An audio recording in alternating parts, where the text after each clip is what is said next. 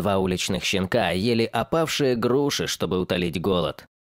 Два щенка оказались на улице. Как это часто случается, какой-то добрый человек выкинул их, бросив в картонной коробке рядом с ветеринарной клиникой. Малыши считали коробочку своим домом и не отходили от нее далеко. Питомцы еще не сталкивались с жестокостью, на которую способен человек. Две маленькие собачки-сестрички виляли хвостиками при виде людей и выпрашивали у них еду. Крохи так сильно голодали, что пытались есть опавшие на землю груши. Однажды малышки встретились с доброй девушкой по имени Елена Цветкова. Они, словно что-то почувствовав, обступили ее со всех сторон, изо всех сил пытаясь понравиться незнакомке. Лене стало так жаль щенков, что она не выдержала и взяла их домой, мысленно говоря себе, что это ненадолго и вскоре для них найдутся хорошие хозяева. Девушка отвезла малышек к ветеринару, который пообещал ей, что они вырастут небольшими.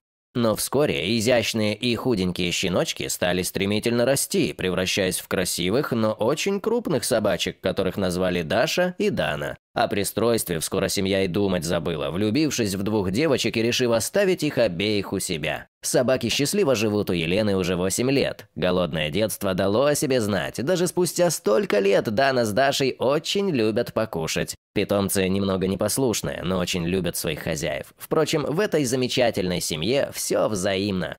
Спасибо Лене за то, что не побоялась забрать двух щенков с улицы. Кто знает, что могло бы с ними случиться, если бы не она.